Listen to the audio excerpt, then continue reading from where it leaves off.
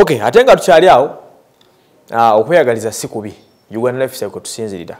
Buli muntu kunsi kuno oba olina okweyagaliza ekisinga era ekirungi nakuba nti wali okweyagaliza okusukka nekuyitawo kakati wali omukwano gwa muono gwe mwagala ennyo ali makasirwanga ne shela gashumba. Gashumba onojjukira yafunye omulimu ku radio ya xfm wali ku vision e, mukashoka agenda okuba nga akola akakaddenzo keyalinga akola kati bambi olwavuddeyo yabadde aliyo nga yina endongo gyakuba nemikono gye bakatisi ku kabaala akamu ngaakuta ecupa enene nekika kyomegeza kyetegeeza bulungi. Naava natugamba nti munnange ye sinakusaba. Naye agamba nti baawe yeyandibadde entertainment minister.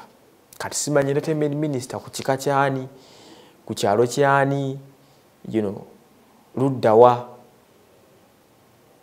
yasabye baawa abeera entertainment minister kubanga ye musajja asinga okusaasanya ensembi wane ug era agamba gavumenti agikubira omulanga.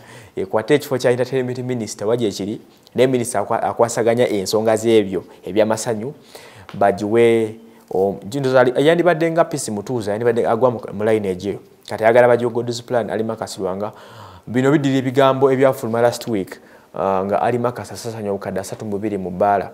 Kati ye omukyala shela gashumba agamba nti ku lwekyo baawe qualifies okubeera mm, minister minisita wa entertainment mu uganda. By the way kirungi okuba nga olidde kuzoba okoze n'okubeera nga osanyuka kukoza sente bakola nkole azifunamu ngaozirya mm, kyekyo. So katulabe wa president museveni anaanukula omulanga gwo naawa alima kasirwange owa minisita nga shira bwawabusabye katunamu oba entertainment minisita gwe tugenda kuwabuliwa nze naawe katubalinde naye nga nyo kubanga weyagala mukaseera ngaoli ku top shira kasaga oli ku top akaseera kano bweyagale paka time wenebekoze kozechi etuuse sengo experience